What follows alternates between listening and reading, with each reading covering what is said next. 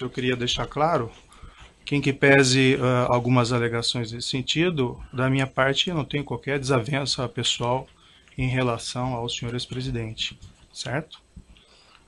O que vai determinar o resultado desse processo no final são as provas que vão ser colacionadas e a lei. E também vamos deixar claro que quem faz a acusação nesse processo é o Ministério Público e não o juiz.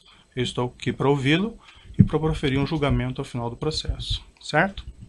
O senhor achava que o juiz era imparcial? Não, nunca achei. Na segunda audiência, eu perguntei para ele: uh, eu tenho oito netos e uma bisneta.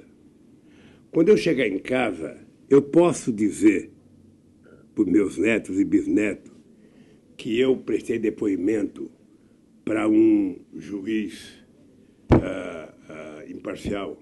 Ele demorou para responder, ficou pensando e respondeu. Eu posso olhar na cara dos meus filhos e dizer que eu vim a Curitiba prestar depoimento a um juiz imparcial. Hum. Bem, primeiro não cabe ao senhor fazer esse tipo de pergunta para mim, mas de todo modo, sim. Eu falei, se é verdade isso, por que, que o senhor tomou a decisão que o senhor tomou? Porque quando ele falou na primeira audiência, ele estava falando para a imprensa, ele estava falando para a Globo, ele estava falando para a televisão, estava falando para a Veja, não estava falando para mim. Porque a decisão dele já estava tomada. A desgraça de quem conta a primeira mentira é que passa o resto da vida mentindo para justificar a primeira mentira. E eles construíram a mentira do Delanhol, do PowerPoint. Essas provas demonstram que Lula era o grande general.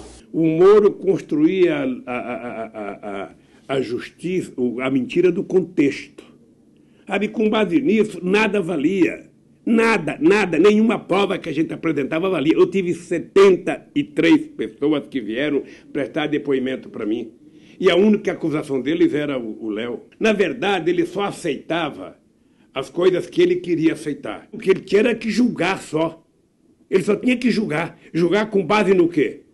Não naquilo que o Jornal Nacional queria, não naquilo que a Mira Leitão falava, não naquilo que o Boni dizia. Ele tinha que julgar com base nos autos do processo. Ele nunca fez isso. Tanto é que o crime que eu cometi, até hoje você não sabe. Eu fui julgado por um fato indeterminado. Até hoje você não sabe, nem eu. Esse juiz ele é tão culpado e ele tem que ser tão punido nesse país a bem do poder judiciário. Não pense os juízes que defendem ele que ele faz bem para o judiciário. Sabe, o que faz bem para o judiciário é aquele juiz que não se corrompe, não é por dinheiro não, que não se corrompe pela imprensa, que não é vaidoso, que não levanta de manhã e vai pintar o cabelo e fica dizendo eu me amo, eu me amo. Que abre a geladeira, pensa a luz acende e pensa que é um canal de televisão, já começa a dar entrevista para a geladeira.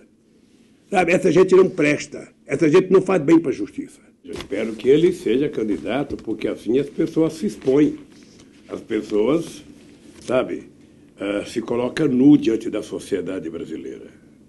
Sabe, esse, esse cidadão não tem equilíbrio psicológico para dirigir a casa dele, se você quer saber o que eu penso. É muito fácil você ser juiz julgando de acordo com a intenção da, da, da elite brasileira. É muito fácil.